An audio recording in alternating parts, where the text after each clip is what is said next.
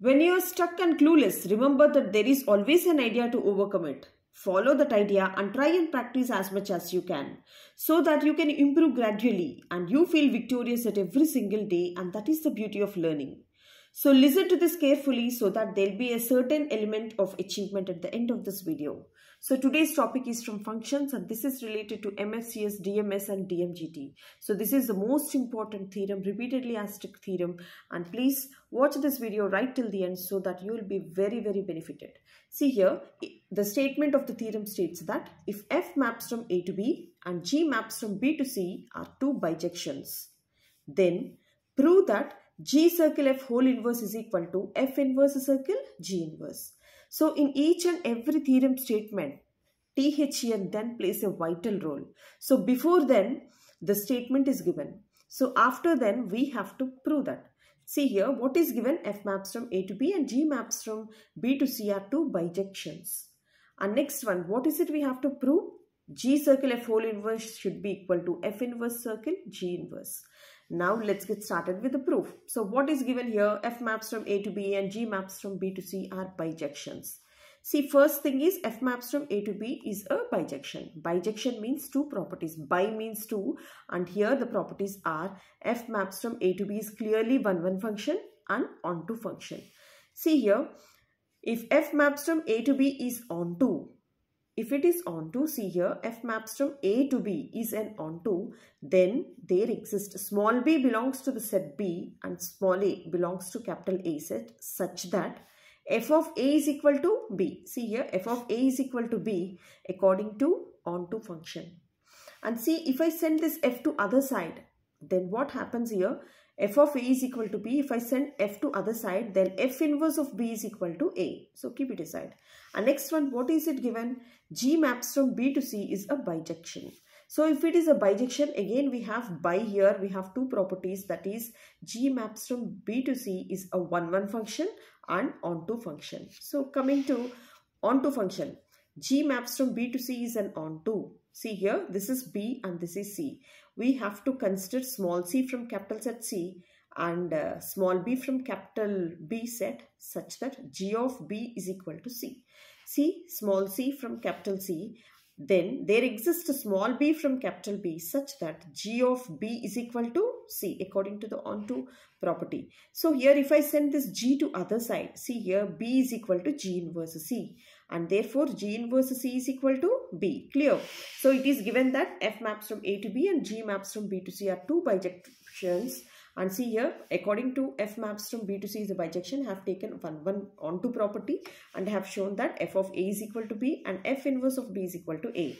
And again, G maps from B to C is a bijection and therefore have taken an onto property here. According to the onto property, G of B is equal to C. And from this, if I send G to other side, so B is equal to G inverse of C. So we have got f of a is equal to b and f inverse of b is equal to a. g of b is equal to c and g inverse of c is equal to b according to the onto property. From the bijection I have taken onto property and again I have discussed an important theorem in my previous video that is if f maps from a to b and g maps from b to c are two bijections then the composition g circle f maps from a to c. See here g circle f maps from this is a to c is also a bijection. So this is also we have got as an information. And see here, if it is inverse, G circle F maps from A to C is a bijection. Then G circle F inverse will become, see here, C will be domain and A will be the range. C to A is also a bijection. If F maps from A to B is a bijection, clearly F inverse maps from, see here, there is an interchange between these two sets. B to A is a bijection. If we have G maps from B to C is a bijection. So these are all, these two are the statements. So the given statements here is F maps from A to B is a bijection. Clearly F inverse maps from B to A is also a bijection. If G maps from B to C is a bijection, then G inverse maps from C to A is a bijection. And see here, if you observe this one, F inverse maps from, see let me show you, F inverse maps from B to A. See here, F inverse maps from this is B to A and G inverse maps from see here G inverse maps from clearly it is C to B. this is C to B. And see here F inverse circle G inverse. So F inverse is circle G inverse. There is a composition between two. So we have to start with G inverse. So G inverse starts with C and it ends up with A. So we can neglect this B. And therefore G circle so here F inverse circle G inverse will be. So we have to start with the set G inverse. So it is C to A is also a bijection. And see here from 1 and 2. See here G circle F whole inverse is from C to A. So here it is C, the domain is C. And here F inverse circle G inverse is also the domain C. So from 2, 1 and 2. So from 1 and 2 we have G circle F inverse maps from C to A and F inverse circle G inverse maps from C to A. So here if you observe this one the domains of G circle F whole inverse and F inverse circle G inverse are same.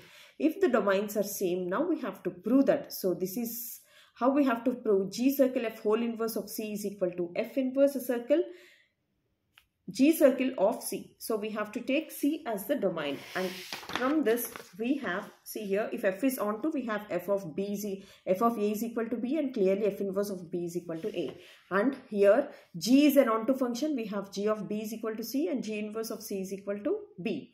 And now we have to show this one. So we have to take the domains. First I am taking C. So from C, so what I can write here from C, I can write G of B. So I have to write G of B. So what is B here?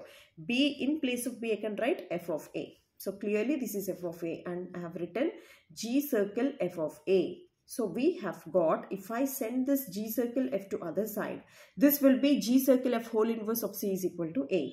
So coming to this part, I have taken F inverse circle G inverse of C. See, as there is a composition, so I have replaced with a bracket that is F inverse of G circle of C. So what is this G, sorry, G inverse of C?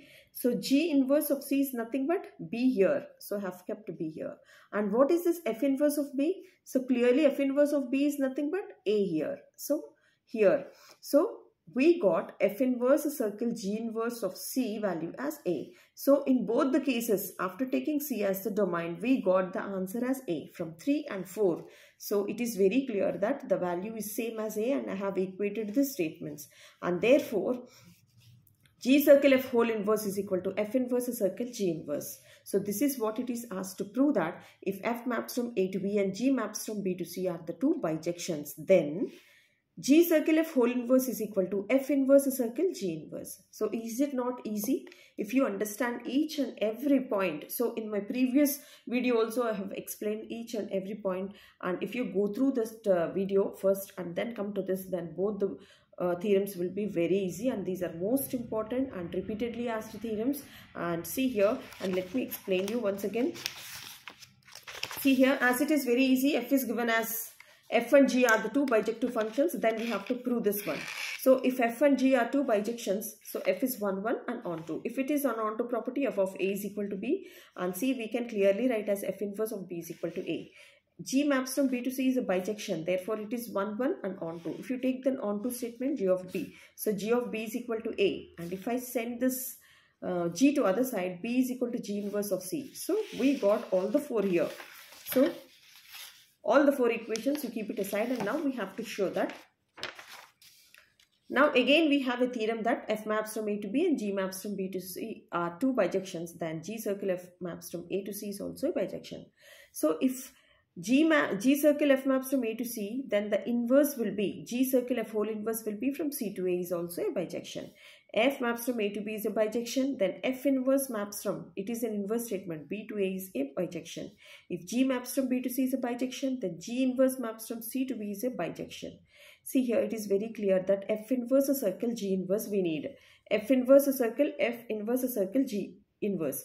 So we have to start with G inverse. So the starting set is C and the final set is A. And therefore, if you see here in the statement 1, we have C as a domain. In the statement 2, we have C as the domain. From 1 and 2, the domains of these two are the same. Now we have to prove this one.